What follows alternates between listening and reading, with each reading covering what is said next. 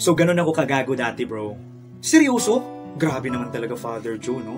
Who would have thought na, you know, isang dating ganon, magiging Father Joe ngayon?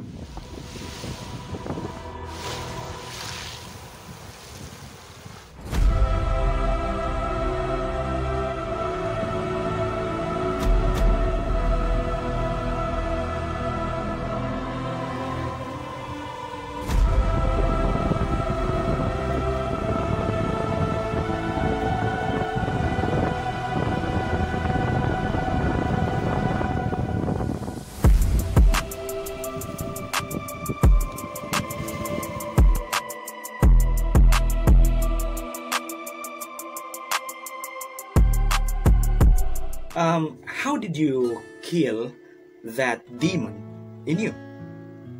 Well, I really did not kill him. Instead, he became a priest. Huh? Um, di ko magets, Father. Um, how did the demon become a priest? Sige, explain ko sa'yo. For example, I am a very powerful wizard, tapos I will give you uh, the strongest weapon in the entire universe. And that weapon is this. This is a stick that is made from the tree of good and evil, no? But here's the catch. You need to maintain peace in the entire universe. However, the stick has a positive and a negative side. It has a good side and a bad side, no? The north tip, you can manifest anything that is good. But if you use the south tip, you will manifest everything that is bad and evil. What will you do if I give this to you? So, syempre, I just need to remove this. So, I need to remove the south tip. O, di ba? Wala na. Okay, you have removed the south tip. Pero tingnan mo ulit yung stick. Di ba meron pa rin siyang north at south? Ibig sabihin, you will still be able to manifest negative stuff coming from the south tip. So, ano gagawin mo? Oo nga, no? So, I will remove again. Oh. Oh.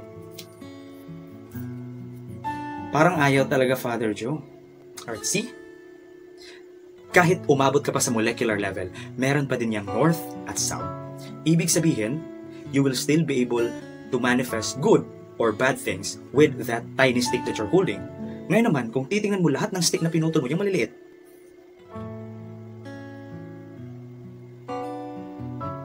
it has north and south tips din. Ibig sabihin, yung mga bagay na akala natin ay masama, meron din pala yung magandang na idudulot.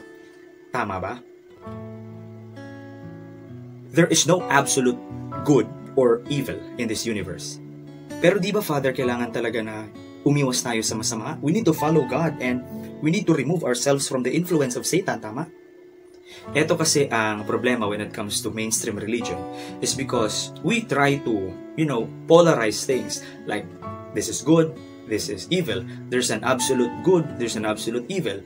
Meron tayong God, merong Satan, merong blessings, merong curses. However, this dualistic thinking, this is actually just generated by our minds. We actually need this in order for us to function properly in this world. Hindi ito masama.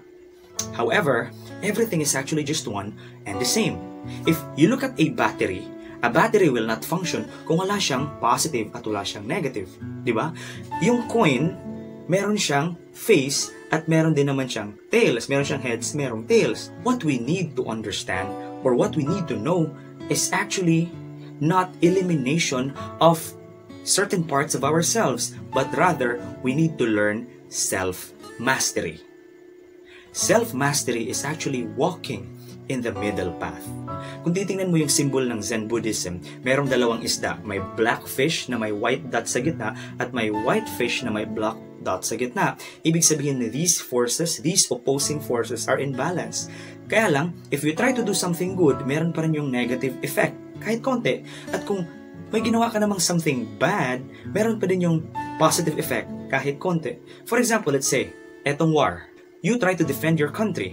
That's good. However, in the process of defending your country, you are killing people.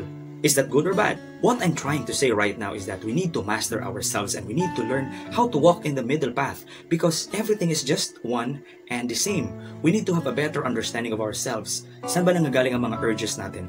Bakit natin nagawa ang mga bagay na ito? If we learn how to walk in the middle path,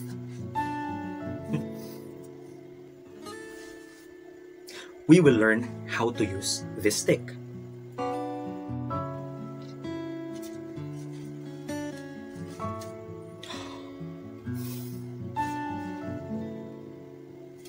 That stick is a representation of yourself. You need to master yourself in order to be able to maintain peace in the whole universe. I hope that makes sense. Namaste.